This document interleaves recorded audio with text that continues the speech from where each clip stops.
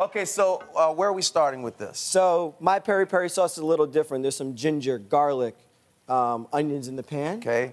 Um, I throw in some chilies, two different types of chilies, bird eye chili and habanero. Okay. Because, you know, peri peri could be spicy. I like it super spicy. I think you're a spicy I like it spicy too. So this is just like two, two um, bird's eye chili, one habanero. Where do you get bird's eye chili from? So bird's eye chili, you can find them in like uh, Chinatown or really um, cultural H Mart, um, a, a Kroger's. Which uh, one of the bird's These eye? are bird's eye right here. I got you. Is that hotter than a habanero? No, not not hotter than a habanero. Okay. But habanero, I'm not gonna touch that because Yeah. I don't want to burn myself. Right. And was there a little bit of oil in there before you So, oh yeah, some some olive oil. Okay. You can use any type of oil. I also recommend a little bit of grapeseed oil for Okay. a high smoke point. Okay.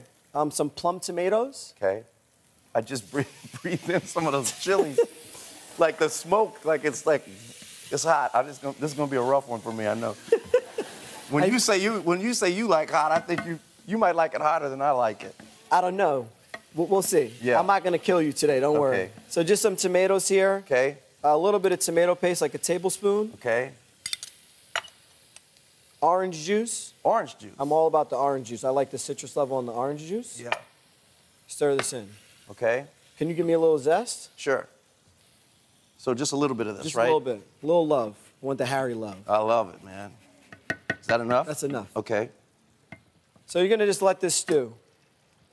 And it should look like this. So now Oh, boy, we're here and it's getting like, it just stews down. So this is something that you can forget about, walk away, talk to a loved one at home, watch a show. Speaking of loved ones, you have baby twins at home. I have twins at home. Six months. Six months, a boy and a girl. That's amazing. Congratulations. Thank you very much.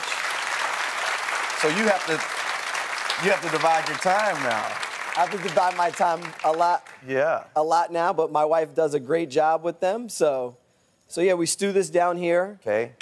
and then get this pan really hot. Okay. This is for our prawns or your shrimp at home. I like to I like the prawns because I like the head on. Okay. Can you use frozen frozen shrimp if you have to? Yeah, 100% you can use frozen shrimp. Okay. So this is what they look like. I marinate them in some chili flakes, olive oil, parsley.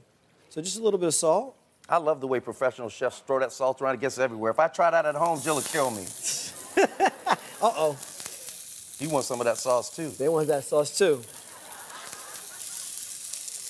Now this, from my experience, you don't cook these very long, right? No, you're gonna cook them for one minute, 30 seconds on each side. Can y'all because- smell that? Oh boy. Smells really good. And, and every dish in the cookbook you can make for six people. These Okay. are all things you can make at home.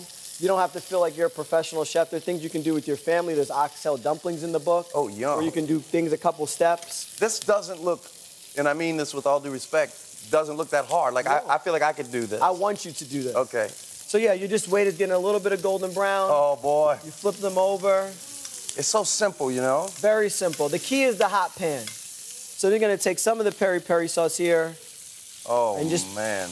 put it right on top, as you can see.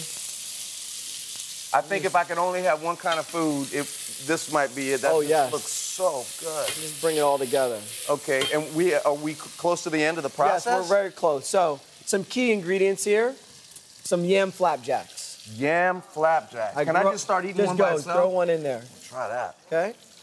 Oh man. Oh, it's so good. I have some apple slaw there for you.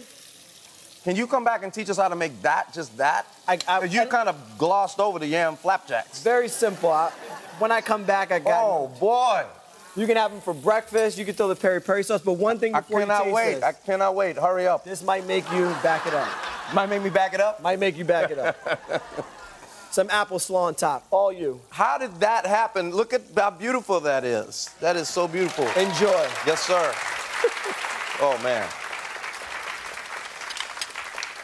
Oh my, give me a hug. Oh my goodness.